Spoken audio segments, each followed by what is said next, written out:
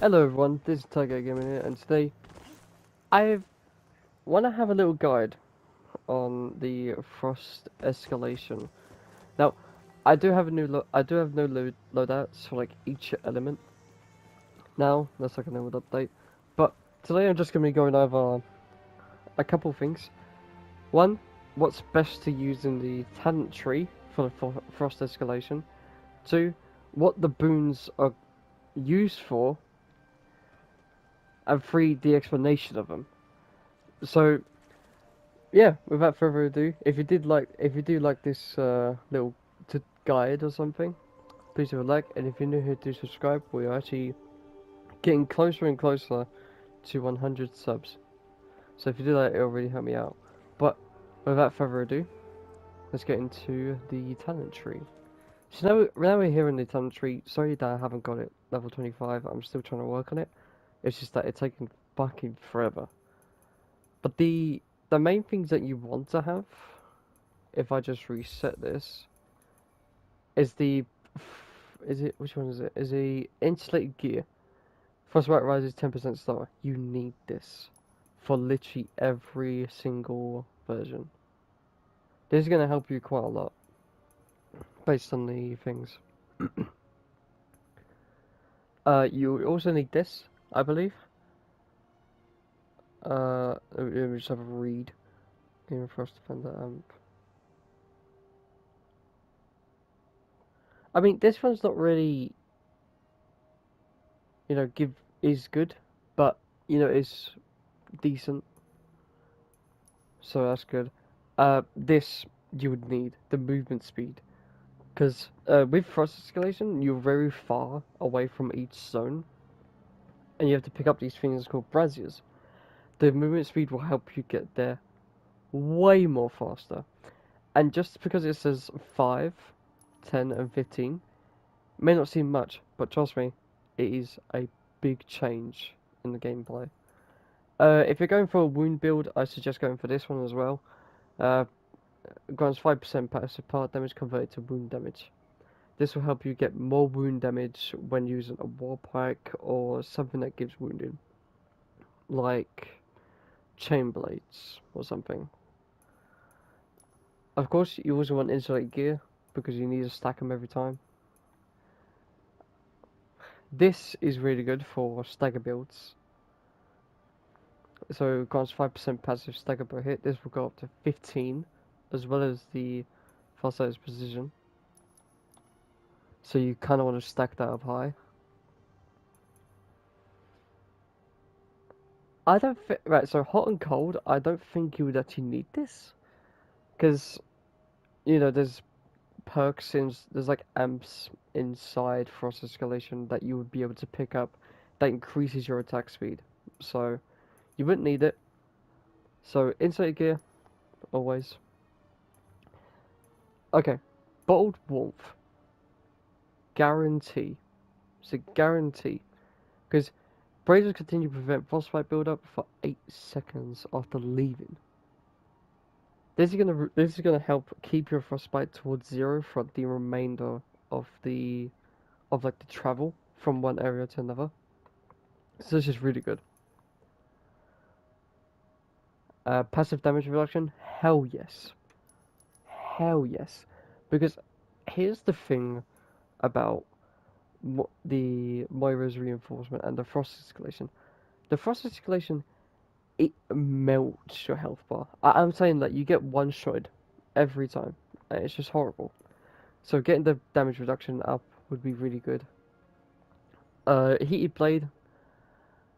It could, it could be a hit or miss based on which one. Absorbing the flame from Berserk causes your next attack to deal 50% more damage. And you can hold multiple of them. So it'll be doing 1.5 times the amount of damage that it was doing for that many of attacks. So it's it's decent, but I don't know if you would actually if you would want to run it. It's based on your choice. To me, preferably, I quite like running it. This warm blooded, hundred percent, definite. The first time you become frostburn, immediately reduce your frostbite build up by fifty percent. This will make you no longer frostbitten and you could just continue fighting. Uh, passive attack damage. Uh, you could do this if you want. Uh, I would probably do it. And now I don't have enough for any of these. But, but yeah, that's that's what I would go for. That's something that I would go for. But if we go over here, even though I don't have any points, I'm still look at it. This this never bothered me, but um, no amp or talent. I don't like, don't like it. I tried it, and I kept on getting frost, getting the frostbite, like maximum. It was horrible. Um, if you're going for a crit build, I suggest the Lucky Strikes talent. Amp that up as much as you want. It's gonna be really good. Uh, Cold Rush, that's gonna be really good as well. When you're in a double, the double um, the double behemoth battles, when one dies, you get like 10% increased damage, 50% increased attack speed, and 25% increased move speed. So, whether it's a single or a double, you can still run super fast with that. So that's gonna be really good. And last one, definitely these. I have I would have to say get all of these if you can, because they're really good. So, what, what is it? Let's look at the aspect of the warrior. Critical guys deal 10% more damage. This is increased to 20% if you are the Avatar Destruction, which is the crit build. Uh, 2% increase attack speed. And it increases to 4 if your Avatar control. I believe this one is the stagger. Yeah, when the behemoth comes staggered. Didn't read it. Um, aspect of the scout. When a behemoth part is wounded, so this is the wound one. Uh, gain 2% increased damage for the remainder of it. This increases to 4% if you're the avatar's subtlety. So this one would be working with the execution's spearhead, I believe it's called, where you actually gain 6% every time a wounded part is broken. This would be really good for it, because then you'll be going up to probably around 120% uh, increased damage. So that'd be really good. Actually, is it? No, I think I'm thinking that wrong. I think it's like 80, 80, 80 something percent. So it's still good. It's still good. Pulse 25 healing to all allies with a short distance every 5 seconds. So this one is when you get shield. I'll be talking about this one because I think a lot of people are not picking it up. Even though it's really fucking good. But yeah, that's the that's all of them. That's all the tree. So I will be like kind of circling which ones I'd say to get. Okay, let me explain why I didn't do this. Is because I looked around the stickers on the editing and I could not find one, so I'm actually not going to be doing this. I'm sorry. But um, yeah. So that's that's tree. Let's just go into frost escalation. Okay, so we are finally into the frost escalation. I'm not going to be going over there just yet, but I'm going to be talking about these avatar, like boons or something you would call them. So this one, so actually, before I actually get into every single one, you want to look at them in every single escalation type. So with stagger, you would think blaze, wound, umbral, crit, shock and the shield to be terror. And this, this is the reason why. So, with Avatar Destruction, this is the shock escalation one. You wanna, you kind of want to build your loadout based on crit chance.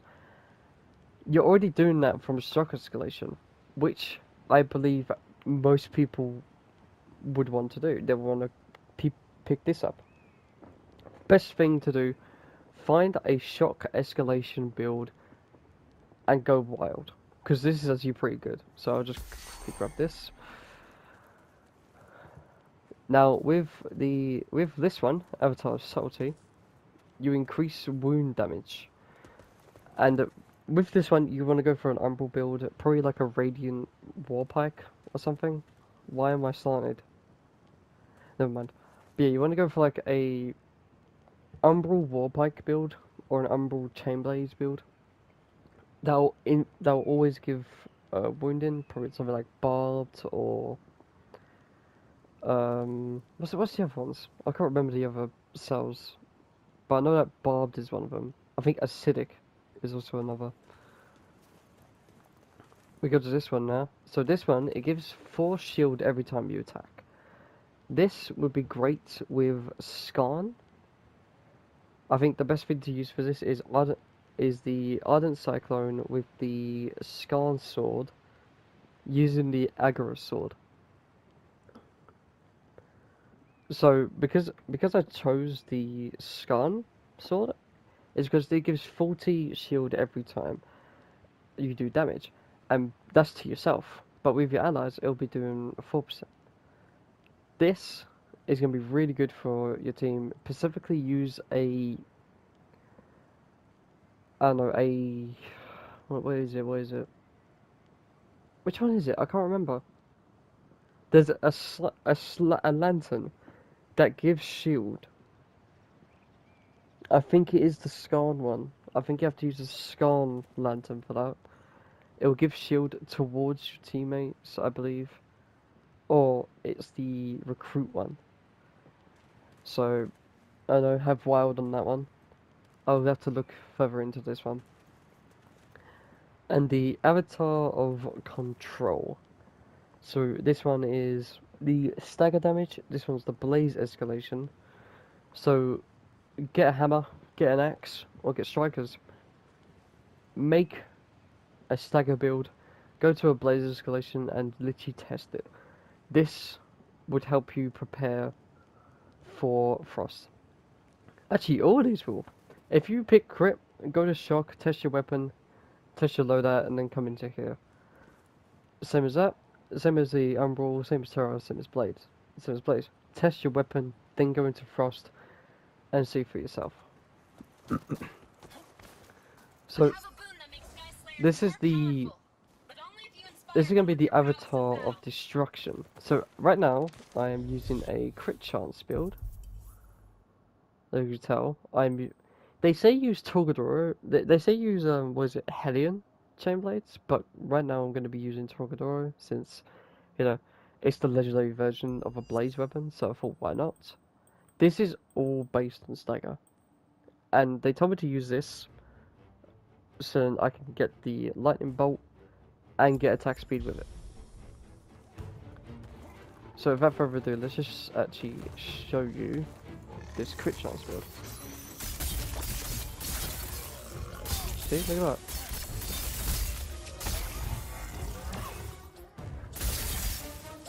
So I got this build from somewhere. I can't. I actually can't remember, but it's called an the shock escalation tank build. And look at that, simple. I know I'm doing one to thirteen, but that's really quick. It's really quick. Now what do we get here? Okay, we can pick up uh executioner. yeah, as I was saying, just use like anything based on es the escalate the past escalations because them are gonna help you out in the long run. I see people always bringing up frost escalation builds, saying how what to use. I think it's very simple. I think it's very simple that you know you just use the same builds that you've been using this entire time.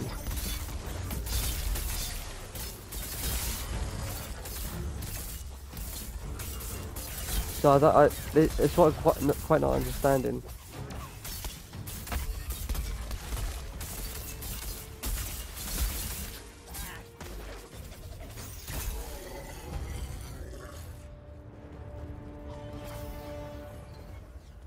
So this is this is basically what the Avatar Destruction does. It literally gives you more crit chance, and if you get the amps, you'll be able to do even more damage. So there you go.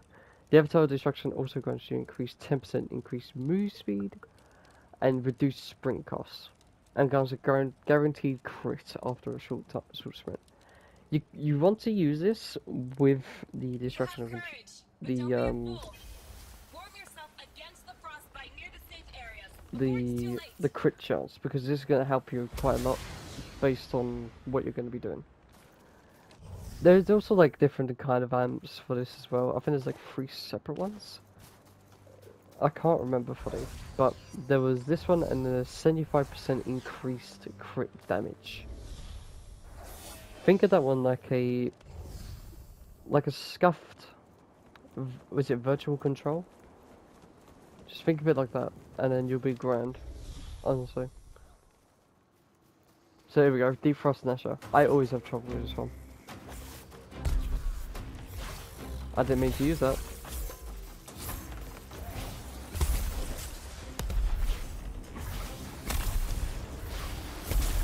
Look how much damage doing already.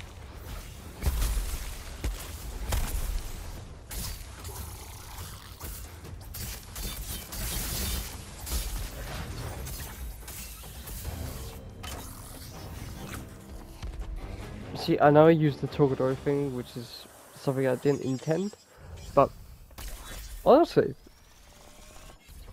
am I wrong to say that this literally just gives the things? This issue is based on escalations, like past escalations and stuff. That's why there's avatars.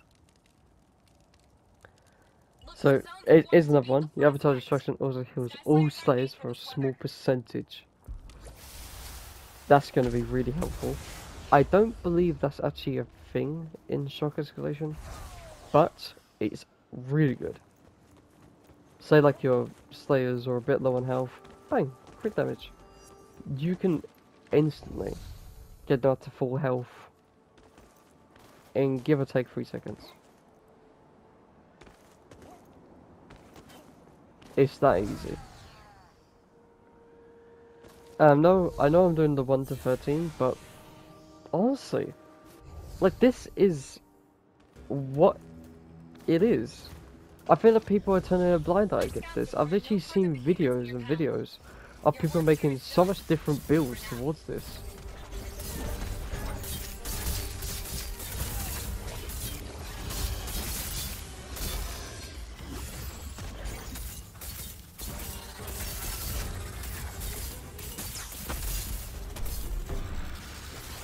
Oh wow, I actually staggered him when...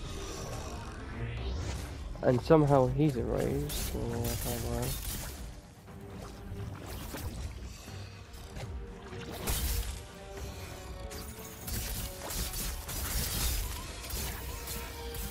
Yeah, but just look at it. Right. It's actually going insane. Like I'm doing like 600 per hit or something. That's really good for chain Chainblade.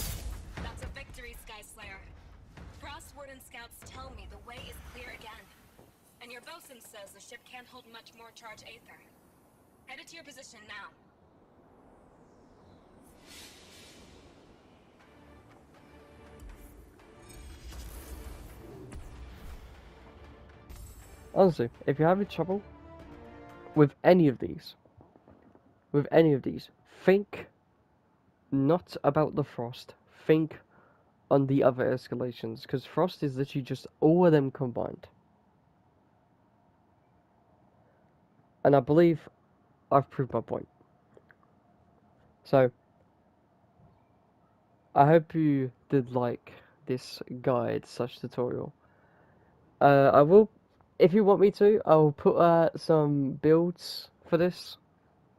Actually, I'll I'll link the builds, some builds that you could use, or you could just go and search for your own. It depends on what your playstyle is.